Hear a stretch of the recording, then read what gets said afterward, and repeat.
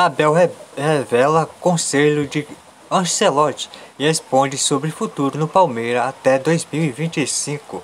O Palmeiras venceu o Atlético Paranaense na tarde deste domingo é, por 2 a 0 em duelo válido pela 25ª rodada do Campeonato Brasileiro.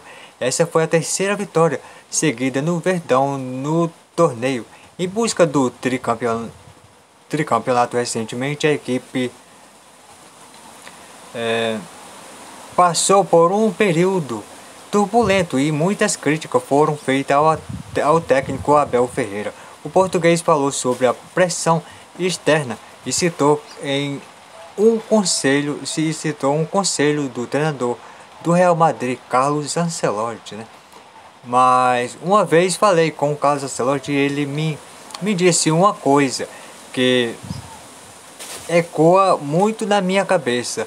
Não leve, não leve o futuro tão a sério. Desfruta se, ca, se, caila, se cailar, né?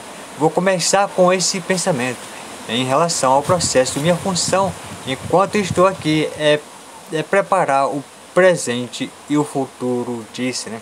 Abel chegou ao Palmeiras no fim de 2020 e desde então conquistou pelo menos um título em cada temporada que comandou. A equipe o treinador foi sondado em outras equipes no fim de 2023 e em janeiro deste ano teve seu contrato renovado até 2025, até de 2000, até dezembro de 2025.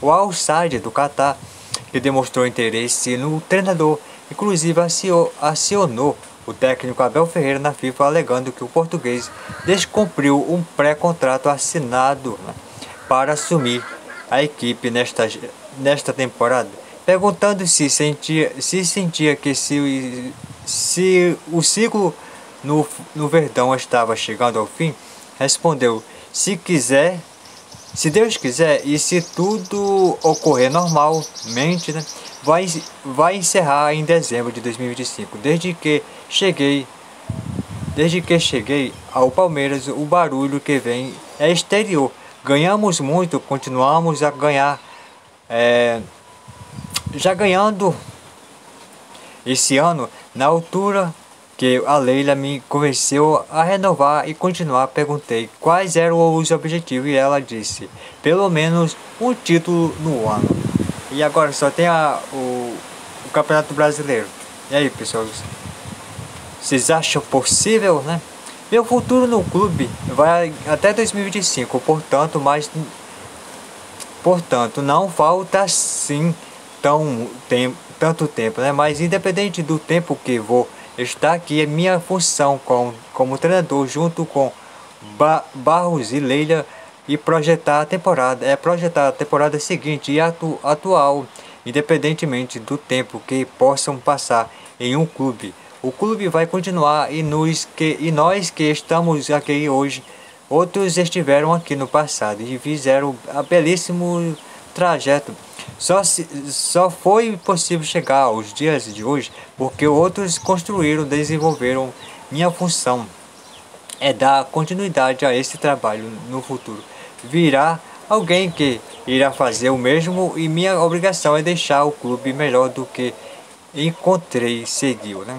Por fim, o treinador enfatizou que dentro do clube ele tem a confiança da diretoria, começando pela presidente Leila Pereira, que irá concorrer à reeleição no Palmeiras em novembro deste ano. Né?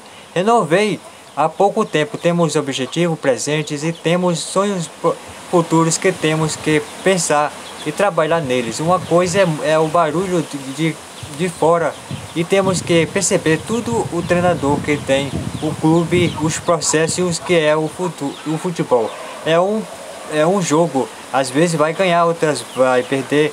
Não vamos ganhar sempre. Quer, quer gostei ou não gostei. Quem é, gostem ou quem não gostem, né? Quem, é, quem está no clube sabe como o futebol sabe dos profissionais que tem, as competências tem um treinador não pode ser bom quando ganha 10 títulos em 3, em 3 anos e meio, nem sem ser ruim, é porque foi eliminado contra Flamengo e Botafogo na, da forma que foi. Né? O único feliz por